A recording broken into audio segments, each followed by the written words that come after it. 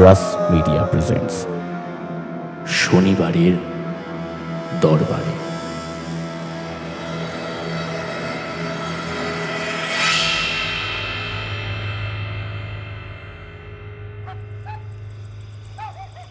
এত রাতে ওখানে যাওয়ার কি দরকার? জায়গাটা ভালো নয়। দিনের বেলাতেই তেমন লোকজন যায় না। আর তুই বলছিস এখন যাবি? ননি বারান্দায় পায়চারি করছিল। সেখান থেকে এসে বলল, দেখ, ভূতের ভয় আমার নেই।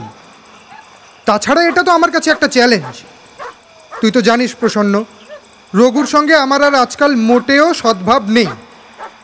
আর বাড়ি নিয়ে মামলাটাই এর কারণ। ও মামলায় আমি জিতেছিলাম। তারপর থেকে রঘুর সঙ্গে মুখ দেখা দেখি একদম বন্ধ হয়ে গেছে। আর ওরাও তো কলকাতা ছেড়ে গ্রামে চলে এসেছিল। কদিন আগে হঠাৎ চিঠিটা পেলাম। ওই তো দেখ না তোর টেবিলে পড়ে আছে। পড়ে দেখ। প্রসন্ন এরপর আর আমার পক্ষে চুপ করে বসে থাকা সম্ভব নয়। প্রসন্ন টেবিলের ওপর থেকে চিঠিখানা তুলে নিল। খুলে পড়ল। অদ্ভুত চিঠি। লেখা আছে প্রিয় বন্ধু ননি বন্ধু ছিলি মিথ্যা মামলা জিতে শত্রু হলি। তোর তো তোর তো খুব সাহস শুনেছি। আয় না রে আমার কাছে, মরতে বসেছি। এ অসুখ সারার নয়, মরার আগে তোর সঙ্গে শেষ বোঝাপড়া করতে চাই। তোর জন্য অপেক্ষা করে থাকব আমাদের পৈতৃক বাড়িতে, সে বাড়ি গ্রামের বাইরে। ভবদুলাল ভবন। কিরে আসবি তো? হাসিস কিন্তু হ্যাঁ? আমার সাহসী বীর পুরুষ। সন্দেশ পত্রিকার ডিরেক্টর তথা কিশোর ভারতী গল্পের নিয়মিত লেখক। শিশির কুমার মজুমদারের জন্ম উনিশশো তেইশ। তার লেখা বিখ্যাত গল্পগুলির মাঝে আকাশে আগুন, পাতালপুরীর অভিযান, জনসন কোম্পানির টাকা ইত্যাদি অন্যতম। বিশ্বাস এবং বিশ্বাসঘাতকতা ঠিক কতটা ভয়ঙ্কর হতে পারে, তাই নিয়ে আমাদের আজকের শনিবারের দরবারের নিবেদন শিশির কুমার মজুমদারের লেখা, মাঝ রাতের জলসা। গল্প পাঠে অনুপম। শুরু হচ্ছে আমাদের আজকের নিবেদন, মাঝ রাতের জলসা। চিঠিটা পড়ে প্রসন্ন চিন্তিতভাবে বলল, আমার আপত্তি ওই বাড়িটা নিয়ে। চকগোবিন্দপুরের ভবদুলাল ভবনে মানুষ থাকে বলে তো জানি না। তবে ভেঙে পড়েনি। কারণ রঘুদের একটা লোক নিয়মিত দেখাশোনা করে। তার রঘুরা তো ও বাড়িতে থাকে না। বাড়িটা তালাবন্ধ হয়েই পড়ে থাকে। ভূতের বাড়ি বলেই জানে সবাই এখানে। ওখানে তো ও তোকে গুম করতেও পারে। বারান্দা থেকে ননি ঘরে এলো। হাত ঘড়ি দেখে বলল চলি রে বাইরে সাইকেল রিক্সা পাবো নিশ্চয়ই। এখন রওনা দিলে সাতটা নাগাদ নিশ্চয়ই পৌঁছবো ওই ভবদুলাল ভবনে। আমি দেখতে চাই ও আমার সঙ্গে এতদিন পরে কি করে? হয় তোকে খুন করবে না হলে ভয় দেখাবে। নয়তো নয়তো বোকার মতো নতুন দলিল লিখিয়ে নিতে চেষ্টা করবে। অবশ্য সে দলিল টেকে না। কিন্তু তোর গোয়ার তুমির কোনো মানে হয় না। মামলার পর মুখ দেখা দেখি বন্ধ তোদের। তারপরও যখন তোকে আসতে লিখেছে ওই রকম ভাষায়, তখন তোর বোঝা উচিত। মুখোমুখি দেখাটা তেমন আনন্দের ব্যাপার নাও হতে পারে। তবুও তুই যদি যেতে চাস, কাল সকালে যাস। রাতেই যেতে হবে, তার কি মানে আছে? ননি হাসল। কলকাতা ছাড়ার আগে আমি গেছিলাম রঘুর প্রাণের বন্ধু রাখালের কাছে। সে তো আমারও বন্ধু। বলল, রঘুর নাকি ভীষণ শরীর খারাপ। কেমন আছে তাও জানে না। তবে রঘুরা তো ও বাড়িতে আর থাকে না। ও বাড়ির সুনামও নেই। শুনেই মনে মনে আমি ঠিক করেছি। রাতেই ওর সঙ্গে আমি দেখা করতে যাব। ওই যে দেখলি না, ও আমাকে বীর পুরুষ বলে ঠাট্টা করেছে। আর এটাই হবে ওই চিঠিটার উত্তর। টেবিলের উপর থেকে চিঠিখানা তুলে ভাঁজ করে পকেটে পুরল ননি। তারপর কোনো দিকে না তাকিয়ে বলে উঠল স্টেশনে নেমেই তোর কথা মনে পড়ল। অনেক দিন দেখা হয়নি তাই দেখা করে গেলাম।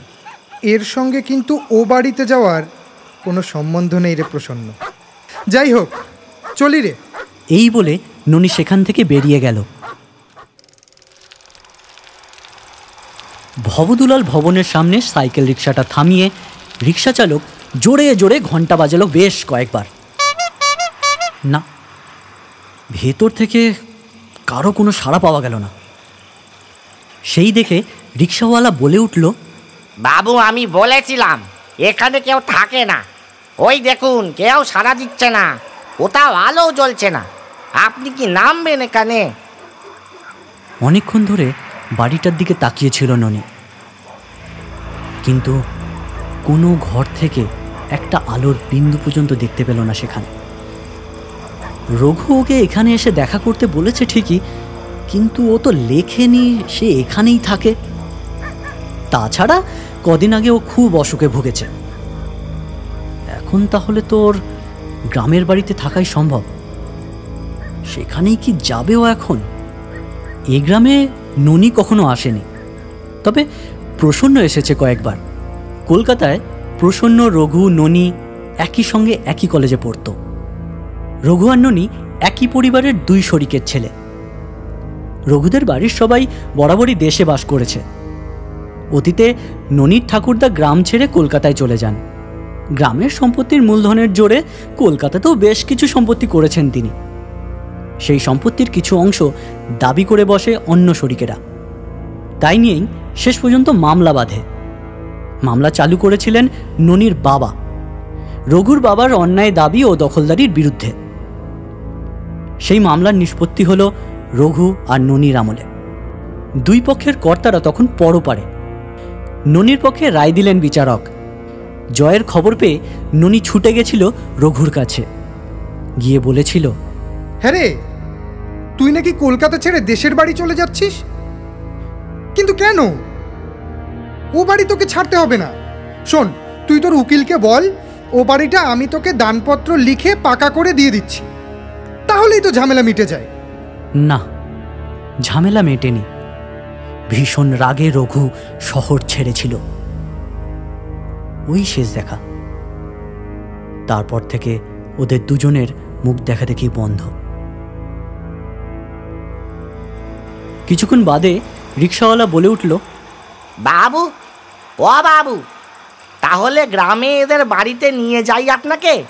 আগে সে বাড়িও আমি চিনি যাবেন নাকি? রিক্সাওয়ালার কথা শুনে তাই করতে যাচ্ছিল ননি। ঠিক তখনই অন্ধকার বাড়িটার নিচতলা থেকে একটা ডাক শোনা গেল। একটা দরজা আওয়াজ করে খুলে গেল। সাদা কাপড় পরা একজন বাইরে বার হয়ে এলো। স্পষ্ট শোনা গেল তার কথা। কে? ও ননি এসেছিস নাকি? আয় আয় আয়।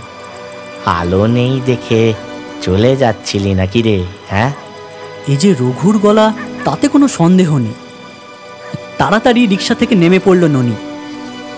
বাগানের গেট খুলে ভেতরে ঢোকার আগেই রঘু বারান্দায় এসে দাঁড়াল। ব্যঙ্গ করে বলল কিরে? অন্ধকার দেখে ভয় পাচ্ছিলে নাকি রে সাহসী পুরুষ? আমি তো তোকে এখানেই আসতে লিখেছিলাম। তবে? সেকালের জমিদার বাড়ি। সামনে বাগান তার মাঝ বরাবর একটা রাস্তা চলে গেছে। সে পথের দুপাশে অন্ধকারে কিছু দূর অন্তর অন্তর পাথরের মূর্তিগুলো কেমন যেন ভয় দেখানো ভঙ্গিতে দাঁড়িয়ে আছে। এগোতে এগোতে ননি রঘুকে বলল না ঠিক ভয় নয়। আলো নেই দেখে ফিরে যাচ্ছিলাম তোদের এখনকার বাড়িতে। রঘু ওর দিকে তাকিয়ে বলে উঠল এত রাতে এলি কেউ তোকে কিছু বলেনি? ওই ওই ওই ওই যে রিক্সাওয়ালাটা ও কিছু বলেনি? সিঁড়ি দিয়ে ওপরে উঠে রঘুর সামনে দাঁড়াল ননি। বেশ নিশ্চিন্ত হয়ে বলে উঠল না না কে কি বলবে?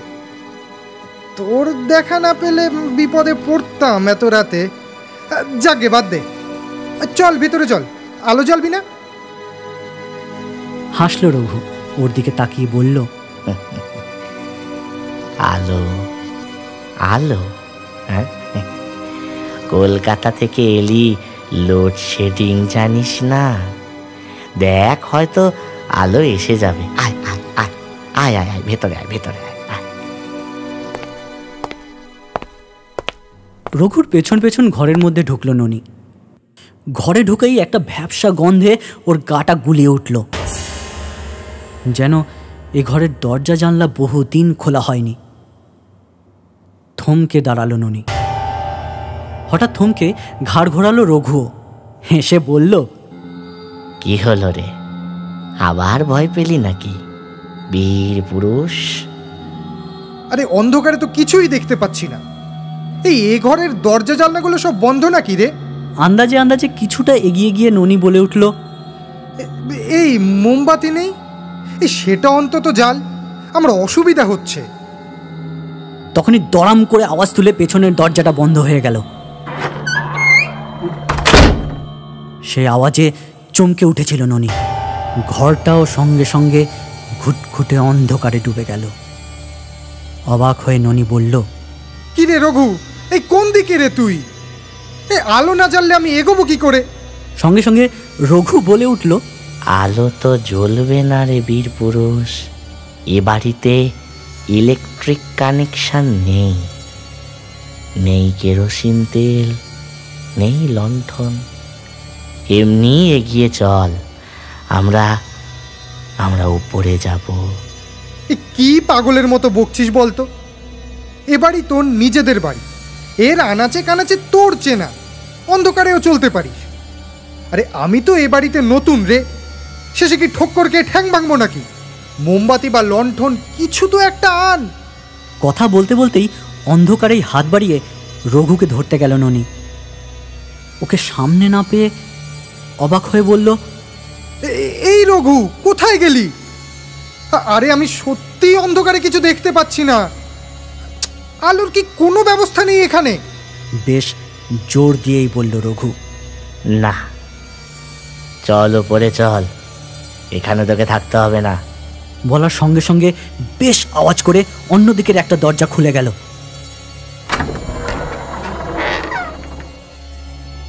অন্ধকারে বুঝতে পারল ননি, ওটা ভিতরে যাওয়ার রাস্তা। আবছায়ার মধ্যে দাঁড়িয়ে রঘু ডাকলো, আয় আয় আমার সঙ্গে। দরজাটা খুলে যাওয়াতে মনে মনে স্বস্তি বোধ করল ননি। রঘুর পেছন পেছন ওই ঘর দিয়ে বাইরে বেরিয়ে আবারও অবাক হলো ননি। ভেতর বাড়িরও কোথাও কোনোখানে আলো জ্বলছে না। বারান্দার শেষে একদিকে দোতলায় ওঠার সিঁড়িটা অন্ধকারের মাঝেও আরও অন্ধকার হয়ে আছে। সেদিকেই এগোলো রঘু। বলে উঠল, আয় রে বীর পুরুষ, দোতলায় তোর থাকার ব্যবস্থা করেছি। সেখানেই সেখানেই সবাই তোর জন্য অপেক্ষা করছে। না, আয় আয় আয় আয় উপরে আয় উপরে আয়। কিছুটা এগিয়ে ননি আবার জিজ্ঞাসা করল। এই এখানে আর কে কে থাকে রে রঘু? শুনেছিলাম তোরা তো নতুন বাড়িতে উঠে গিয়েছিলি। তাহলে? সিঁড়ির ধাপে পা দিয়ে রঘু বলে উঠল থাকেন সবাই ওপরে গেলেই তো তাদের দেখা পাবি। তারা সবাই তো তোর জন্যই অপেক্ষা করে আছেন। তুই আমার এত বড় বন্ধু। তোকে তো সবাই আদর যত্ন করবে রে চ। ওর গলার স্বরে ব্যাঙ্গের ঝাঁঝ সিঁড়ির ধাপে পা রেখে ননি বলে উঠল তুই দেখছি মামলার ব্যাপারটা এখনও ভুলিসনি। কিন্তু বিশ্বাস কর ভাই ও ব্যাপারে আমার কোনো দোষই ছিল না। মিছে কথা বলিস না ননি। বেশ রাগ করেই যেন রঘু বলল ওসব মিছে কথা শুনতে যে ভালো লাগে না। তাছাড়া তোকে এখন এখানে ডেকে এনেছি মন্ডা মিঠাই খাওয়াতে নয়। ডেকে এনেছি ওই মামলার ব্যাপারটাই নতুন করে মিটিয়ে ফেলতে। উঠে আয় উপরে বাঁক নিয়ে সিঁড়িটা সোজা উঠে গেছে দোতলায়। বাঁক ঘুরে ফের থমকে দাঁড়াল ননি। অবাক কাণ্ড। দোতলাতেও কোথাও কোনো আলো জ্বলছে না। এতক্ষণ একটানা অন্ধকারে থেকে অন্ধকার ওর চোখে অনেকটা সয়ে গেছে। ও দেখল দোতলার টানা বারান্দার একদিকে সারি সারি ঘর। তার প্রত্যেকটা দরজাই বন্ধ। অন্যদিকে বুক সমান উঁচু জাফরি কাটার রেলিং। ওদিকের নিচেই বোধহয় ভিতর বাড়ির উঠোন। রঘু বারান্দায় উঠে গেছিল। না ফিরেই বলল থামলি কেন? আয় আয়। তোর জন্য যথাযথ ব্যবস্থা করে রেখেছি। কোনো অসুবিধা হবে না তোর। আয় আয় আয় আয়। ওখানেই থমকে দাঁড়িয়ে ননি বলে উঠল রঘু তুই কি আমাকে ভয় দেখানোর জন্য এখানে এনেছিস? এ বাড়িতে তো দেখছি আর কেউই থাকে না সব ঘরই বন্ধ। বাজে কথা। কে বলল সব ঘর বন্ধ? কোন ঘরটাতে তুই থাকতে চাস বল? প্রথম ঘরটা ওই ওই ওই ওই ওই ওই, ওইটা ওইটা। ওটা নাচ ঘর। ওটা থাক। দু নম্বর ঘরটা দেখছিস?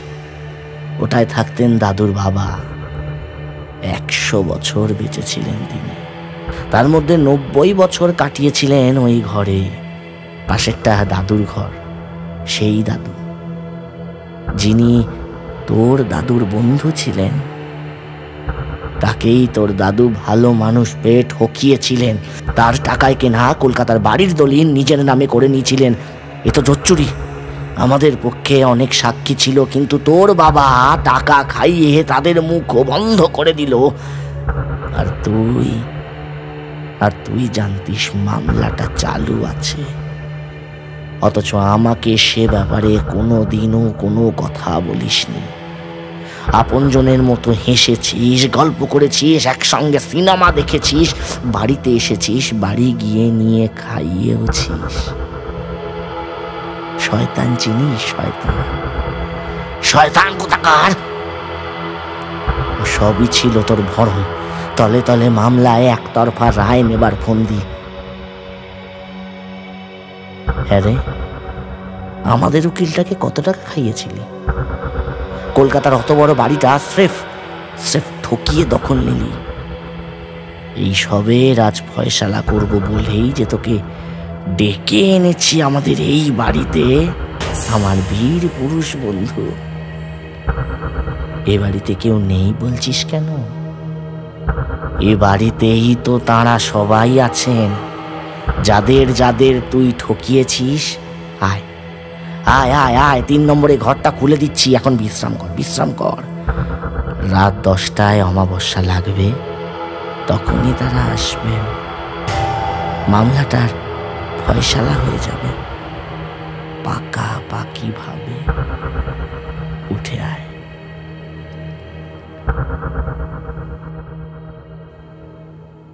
থমকে গেল ননি। এই প্রথম ওর মনে একটু ভয় ঢুকলো। এ কি বলছে রঘু? এভাবে বাহাদুরি করে এখানে না আসাই উচিত ছিল ওর। অমন একটা চিঠি পেয়ে ওর অন্তত একবার ভাবা উচিত ছিল। রঘু ওকে নিয়ে এখন কি করতে চায়? ও বলেছে, এ বাড়িতে এখনও আরও অনেকেই আছেন। আছেন তো তারা কোথায় আছেন? সব ঘরগুলোই তো বন্ধ। মানে কোথায়?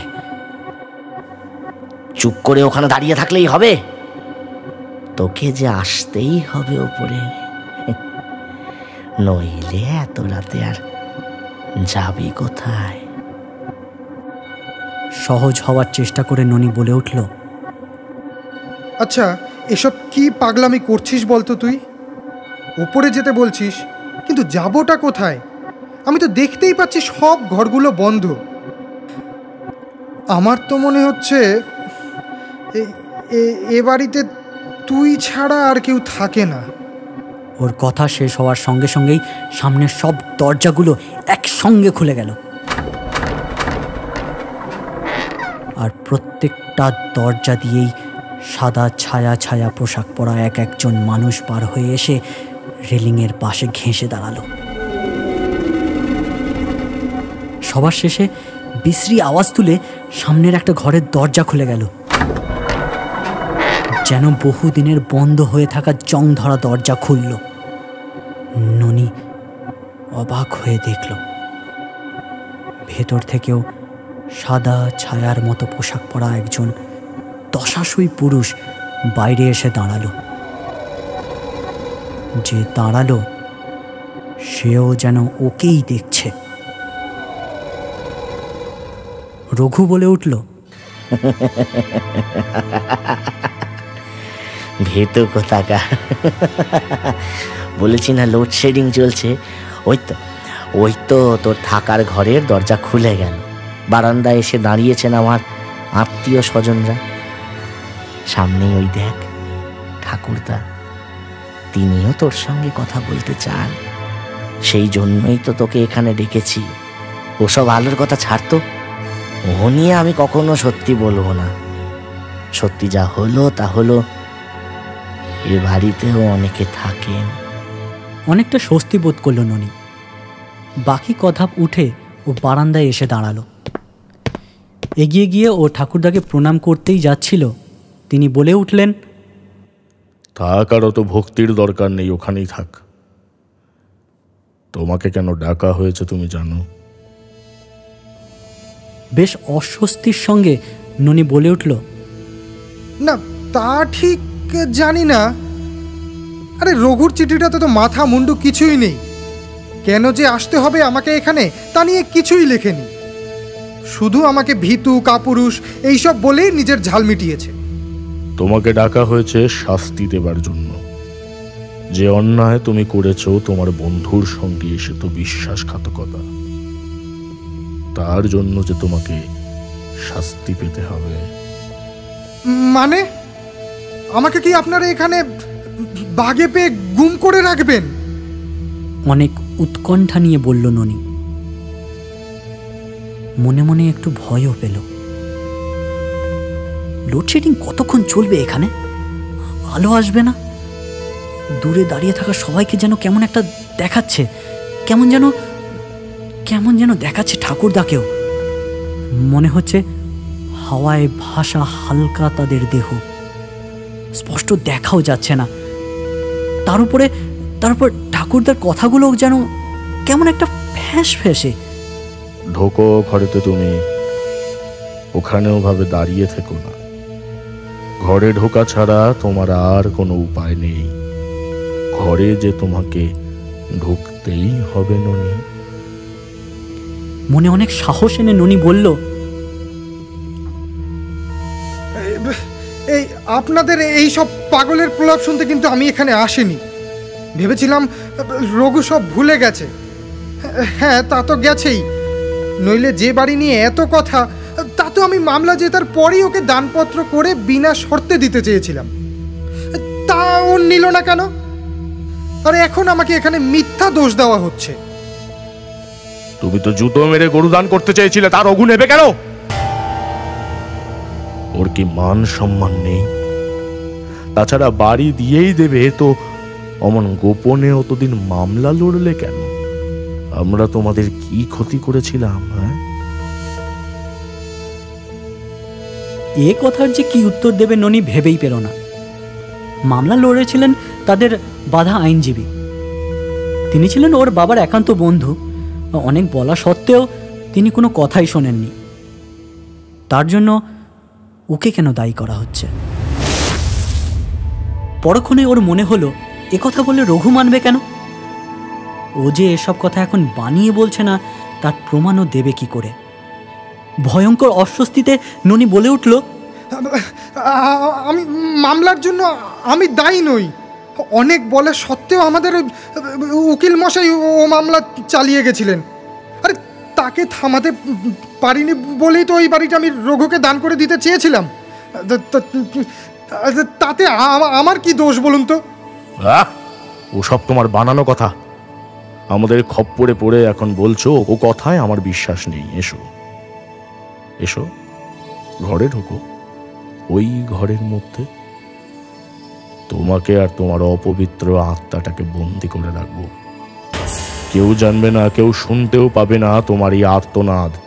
এই ঘরেই চিরকাল বন্দি হয়ে থাকবে তুমি, এটাই এটাই তোমার শাস্তি। এসো এসো, সোজা ঘরের মধ্যে ঢুকে যাও, আর দেরি করো না, রাত অনেক হলো অনেক হলো, দেরি করো না, দেরি করো না, যাও। এই দুনিয়ার এখন আর কোনো কারও ক্ষমতা নেই তোমাকে রক্ষা করবে, এসো। এসো, ননি, আমার সঙ্গে এসো। মনের সমস্ত ইচ্ছার বিরুদ্ধে খানিকটা এগিয়ে গেল ননি। এই এ এ আপনাদের অন্যায় জুলুম। আমার সম্বন্ধে যা তা ভেবে গেছেন আপনারা। আর এখন আমাকে এখানে মিচি মিচি বিপদে ফেলতে চান। আমি যদি না ঢুকি ঘরে তাহলে আপনি আপনি আপনি কি করতে পারেন? বারান্দার মাঝখানে ননি থেমে গেল। আমার কথা না শুনলে তোমার কপালে দুঃখ আছে ননি। আমি আধার ভৈরবকে জাগাবো সে তোমার চুলের মুটি ধরে তোমাকে ঘরের মধ্যে ঠেলে দেবে। যাই করো আর তাই করো। শাস্তি তোমাকে নিতেই হবে। ঠিক আছে। সবার দিকে রুখে দাঁড়িয়ে ননি বলে উঠল আমি আমি আর ওদিকে এগোবই না। হ্যাঁ, আমি এখান থেকে নিচে নেমে যাব সেখান থেকে হেঁটেই স্টেশন চলে যাব। একথা বলেই তাড়াতাড়ি পিছন ফিরে সিঁড়ি দিয়ে নামতে গেল ননি। সঙ্গে সঙ্গে বাইরে কোথাও বিশ্রীভাবে একটা পেঁচা ডেকে উঠল। সেই ডাক থামার সঙ্গে সঙ্গে বাড়ির অন্য কোথাও একটা বেড়াল কুকিয়ে উঠল। যেন বিড়ালটা বাড়ির কোনো ঘরে আটকা পড়েছে। মনের মধ্যে প্রচণ্ড অস্বস্তি নিয়ে ননি সিঁড়ির বাঁকের মুখে এসে দাঁড়াল। এ বাড়িতে আর এক মুহূর্তও থাকবে না সে। বাঁক ফিরতেই কি যেন এসে সজোরে একটা থাপ্পড় মেরে গেল। আতঙ্কে শিউরে উঠল ননি। থমকে দাঁড়াল সিঁড়ির বাঁকে। উপর থেকে ঠিক তখনই রঘুর গলা শুনতে পাওয়া গেল। কিরে বীর পুরুষ পালাচ্ছিস? পালাবি কোথায়? এ বাড়িতে ঢোকা যায় বার হওয়া যায় না। উঠে আয় উঠে আয় উঠে আয় বলছে! এ কথার কোনো জবাব না দিয়ে তিন চারটে করে সিঁড়ি লাফিয়ে ননি একতলায় বারান্দায় এসে থামলো। ডান দিকের একটা দরজা দিয়ে ও এখানে এসেছিল। সেই দরজাটা দিয়ে ও বাইরে চলে যাবে। অন্ধকার ওর চোখে একদম সয়ে গেছে। দরজাগুলো ও যেন স্পষ্ট দেখতে পাচ্ছে। প্রথম দরজাটাও খুললো না, দ্বিতীয়টাও খুললো না। তাহলে তাহলে ও কোন দরজা দিয়ে ভিতরে এসেছিল? কানে এলো পেছনের সিঁড়িতে ভারী পায়ের আওয়াজ। কে যেন পা ঠুকে ঠুকে নামছে নিচে। সে এগিয়ে আসছে ওর দিকে। পাগলের মতো তৃতীয় দরজাটাতে প্রাণপণ শক্তিতে ধাক্কা মারতে লাগল ননি।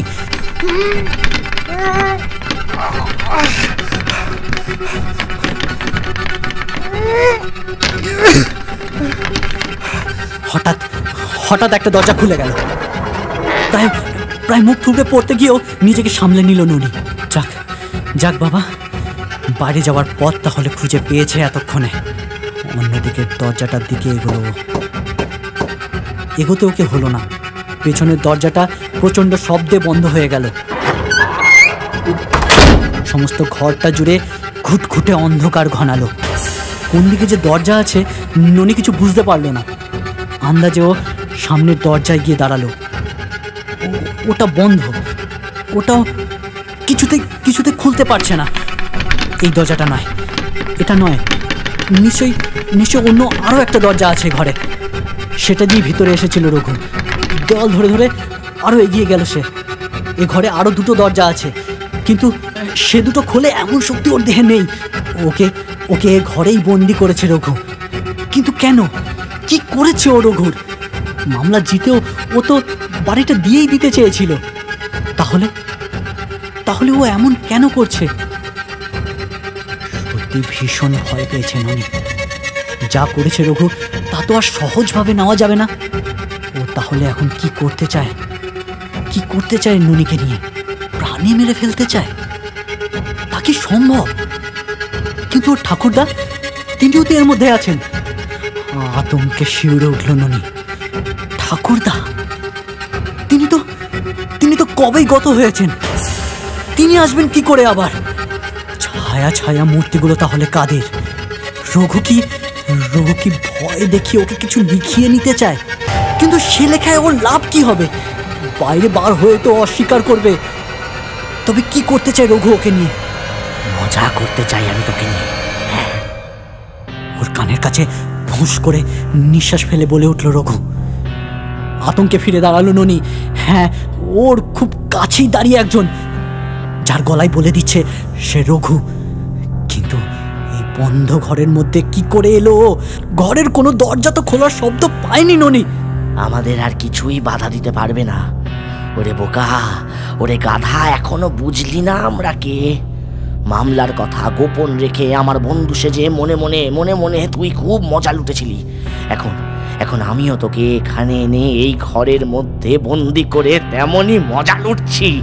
এ বাড়িতে এ বাড়িতে কেউ আসে না। রাতে অন্ধকারে আমরা ঘুরে বেড়াই আনাচে কানাচে। যে মুক্তি পাইনি রে। পাবো কি করে বল? ভালো মানুষ ভেবে আমার ঠাকুরদাকে তোর ঠাকুরদা ঠকিয়েছিল। যখন সে কথা ঠাকুরদা বুঝতে পেরেছিল, সে কি হাহাকার? তার সেই তার সেই হাহাকারই আজ তাকে এই বাড়ির মধ্যে আটকে রেখেছে। তারপর আমার সঙ্গে তুই বিশ্বাসঘাতকতা করলি। আমি আমি মরার আগে পর্যন্ত সে কথা ভুলতে পারিনি। আমিও যে তাই মুক্তি পাইনি। আজ তোর সঙ্গে শেষ খেলা খেলে তৃপ্তি পাব। কি জানি? তখনই হয়তো আমার আর আমার ঠাকুরদার মুক্তি। ও কি যন্ত্রণা নিয়েই না আমরা দুজনে এই বাড়িটার চার দেওয়ালের মধ্যে ঘুরে মরেছি, আয়। আয় না, আয় আয় আয়, কাছে আয় কাছে আয়। তোকে ভালো করে বুঝিয়ে দিই যন্ত্রণাটা আমাদের, আয়। ছুটে ননি ওদিকে দরজাটার উপরে গিয়ে আছড়ে পড়ল। সেকালের মজবুত মেহকনি কাঠের দরজা একটুও নড়ল না। ঠাকুরদা! ঠাকুরদা এসো এসো এসো দেখে যাও দেখে যাও কি মজা। খাঁচায় আটকা পড়া ইঁদুরের মতো করছে ও। এসো না এসো না দেখে যাও দেখে যাও। আর আপনারা আপনারা সকলে আসুন সকলে যে যেখানে আছেন সকলে আসুন। না ঘরের কোনো দরজা খুলে যাবে না। সব কটাই শক্ত করে বন্ধ করা। সত্যি খাঁচা কোলে আটকে পড়া ইঁদুরের মতো অবস্থা ওর। এখন যদিও বুদ্ধি হারায়, তো সর্বনাশ হবে। যাই ঘটুক না কেন, ওকে সাহস দেখাতেই হবে। তা না হলে, তা না হলে ওরা পেয়ে বসবে। এদিক ওদিক তাকাতে থাকল ননি। রঘু হঠাৎ বলে উঠল, তোর মনে আছে ননি? সেই দিনটা ছিল আমার বাড়িতে উৎসব। আমার আমার গান বাজনা ভালো লাগতো। ওস্তাদ ওস্তাদ বেলমবিয়া এসেছিলেন সেদিন। গান বেশ জমে উঠেছিল। এমন সময় এমন সময় মাখন বাবু আমাদের সরকার মশাই আমাকে আড়ালে ডেকে নিয়ে গিয়ে বলেছিল, তোর মামলা যে তার কথাটা, তুই জানতিস হ্যাঁ হ্যাঁ তুই জানতিস, তুই আমাকে কিচ্ছু না বলে আমারই ঘরে বসে মাথা দুলিয়ে গান শুনছিলি। সেই দিনের কথাটা সেই দিনের কথাটা আমি আজও আজও বলিনি রে আজও বলিনি আজও এখানে গানের জলসা হবে। তুই শুনবি তুই শুনবি, আর আমরা আর আমরা সবাই বসে বসে খুশিতে মাথা দোলাবো। সঙ্গে সঙ্গে ঘরের মধ্যে কেমন যেন একটা নরকের আভাস জাগলো। বাইরের দরজাটা আঁকড়ে ধরে ননি তাকিয়ে দেখল ঘরের মাঝখানে ফরাস পাতা। ওস্তাদ ওস্তাদ কানে হাত চাপা দিয়ে গান গাইছেন। তার ভাষা শুনে আঁতকে উঠল ননি।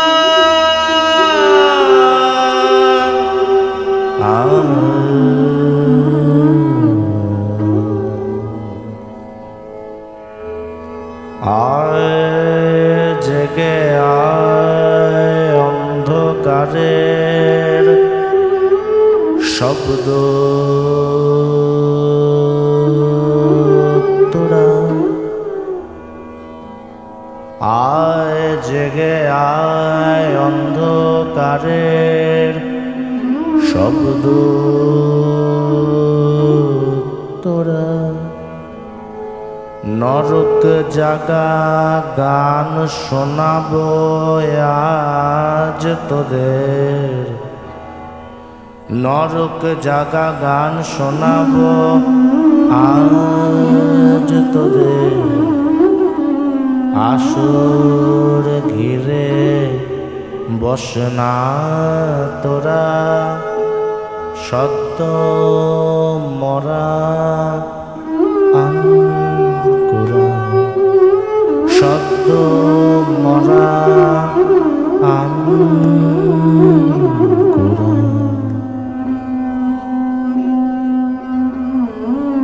কলেজে ছেড়া সুরের সাথে। গোল যে ছেড়া সুরের সাথে। ওরে ধরে না তোরা। বাজবে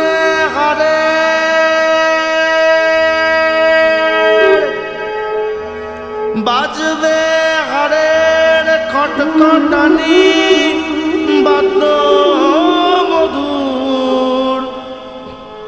বাজবে হারের কটকটানি বাদ্য মধুর। শ্মশান জাগা শ্মশান জাগা।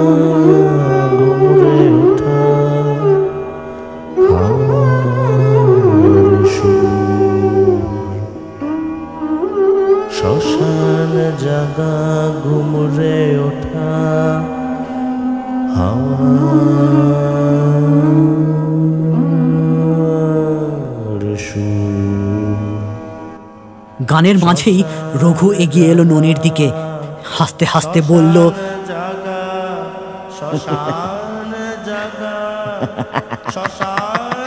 কিরে, এখানে দাঁড়িয়ে রইলি কেন? তোর সম্মানে গান গাইছে ওস্তাদ। বস বস এসে বাহবা দে মাথা তোলা তা না হলে, তা না হলে গানেও উৎসাহ পাবেন কি করে? ওর কথা শেষ হতেই আসরের সবাই মুখ ফিরিয়ে একসঙ্গে বলল,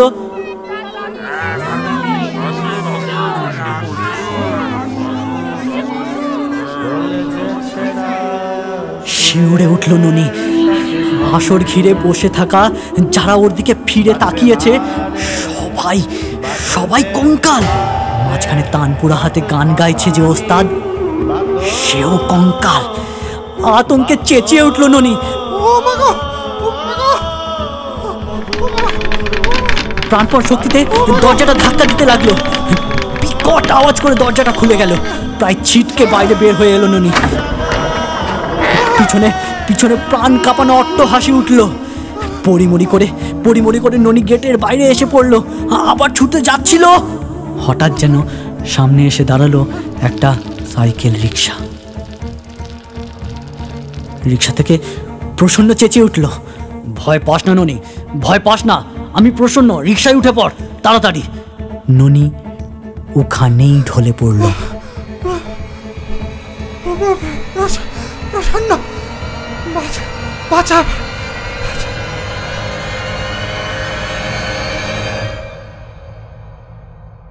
তারপর যখন ও চোখ খুলল ও শুয়ে আছে প্রসন্নর ঘরে। প্রসন্ন ওকে তাকাতে দেখেই বলে উঠল, যাক, বাঁচালি। যা চিন্তায় ফেলেছিলি। কেমন যেন চোখে তাকালো ননি ওর দিকে। তুই চলে যেতেই আমার মনে হলো কাজটা ভালো করলাম না। তোর পেছন পেছন রিক্সা নিয়েই ছুটেছিলাম। আগে গেছিলাম রঘুদের এখনকার বাড়িতে। ওখানে সবাই বললেন মাস দুই আগে রঘু মারা গেছে। শুনে অবাক হলাম। তাহলে রঘুর নামে কে তোকে চিঠি দিল? এর মধ্যে গোলমাল আছে বুঝেই চলে এসেছি এখানে। তা তা তুই এমন পাগলের মতো ছুটছিলি কেন? তখনই ননির মনে পড়ল, রঘুর চিঠিটার তারিখ প্রায় আড়াই মাস আগের। তাহলে ওই ভয়ঙ্কর চিঠিটা রঘু বেঁচে থাকার সময়ে লিখেছিল। তাহলে ওর আত্মা আজ এমন এমনভাবে বন্দি করেছিল ওকে? ভাগ্যিস ওর ধাক্কায় শেষ পর্যন্ত দরজাটা খুলে গেছিল। প্রতিশোধ যে এত ভয়ঙ্কর হতে পারে, তা হাড়ে হাড়ে টের পেয়েছিল ননী।